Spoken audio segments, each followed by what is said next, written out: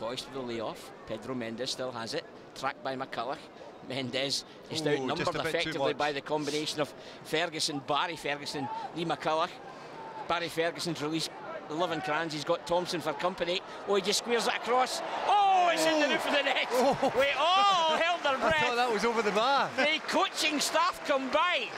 Jonatan Johansson clips it into the roof of the net. Delivery starts from Ferguson across the face.